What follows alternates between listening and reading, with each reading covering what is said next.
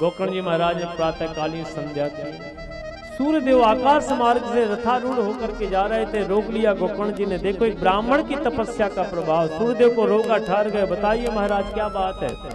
गोकर्ण जी ने कहा, महाराज, ये बताइए, हमारा भाई प्रेत योनि में चला गया है, उसकी मुक्ति के लिए हमें क्या करना चाहिए? सूर्यदेव ने कहा कि महाराज, कुछ नहीं। आप सत्कर्म करिए। सत्कर्म का अर्थ ही ज्ञान यज्ञ है, और ज्ञान यज्ञ का मतलब ही सत्कर्म है। तो आप सत्कर्म करिए। तो गोकर्ण जी महाराज ने संपूर्ण ग्रामीण अंचल के लोगों को एकत्रित किया। सबसे कहा कि भैया, हम भागवत कथा का आयोजन करना चाहते हैं। आप सब लोगों का सहयोग अपेक्षित है। सब लोग तैयार हो गए महाराज। इसमें हम सहयोग किया महाराज, हम तन मन धन से सहयोग करेंगे। आप आदेश तो करिए।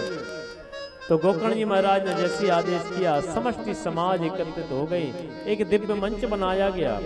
तो वहाँ पर बाँस का बगीचा था दाहिने तरफ़। और मंच तैयार हो गया। सब लोग कथा सुनने के लिए एकत्रित होने लगे। व्यास मंच पर आसीन हुए गोकर्ण जी महाराज, धुंधकारी को आहूत किया तो सप्त ग्रंथि का एक बाँस था। उसमें प्रवेश कर जाता है क्योंकि बाँस में वायु का प्रवेश नहीं होता है। प्रेम से बोलो, जय श्री राज जैसी प्रथम दिन कथा श्रवण कराई। प्रथम ग्रंथि फट जाती है। द्वितीय दिवस की कथा में द्वितीय ग्रंथि, इसी तरह से तीसरी, चौथी, पांचवी, छठवीं, सातवीं, सातवें दिन की कथा में सप्त ग्रंथि फट जाती है और दिव्य रूप धारण करके धुंधकारी प्रकट हो जाता है। कि दिव्य रूप धरो जाता, तुलसी दाम मंडिता। पीत बासा घन श्यामो, मुकुटी कुंडलान्विता चतुर्भुज रूप में स्वर्ण से कांतिमय दे स्वर्णमय दे दिव्य रूप बड़ी आभा प्रभाव शोभा पा रहा है सुंदर स्वरूप।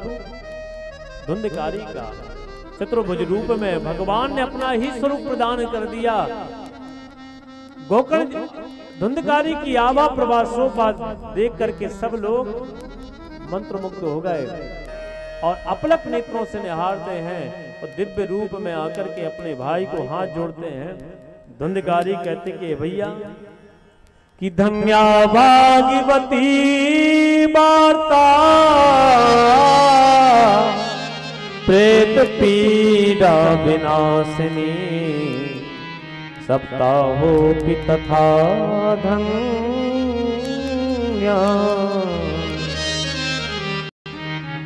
कृष्ण लोक फल प्रद धन्य है सप्ताह यज्ञ।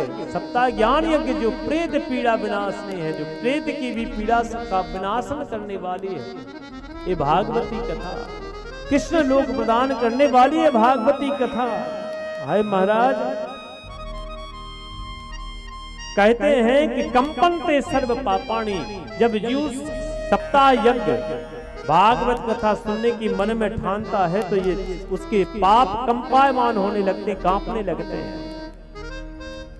कंपनते सर्व पापानी सप्ताह श्रवणे स्थित। सप्ताह श्रवण में सुनने की मन में रुचि आती हो पाप कांपने लगते हैं।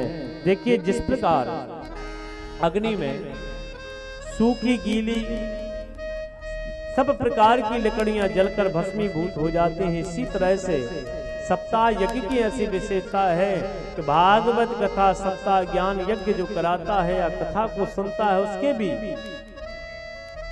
सब मनवाणी कर्म के पाप ताप सब जलकर भस्मीभूत हो जाते हैं।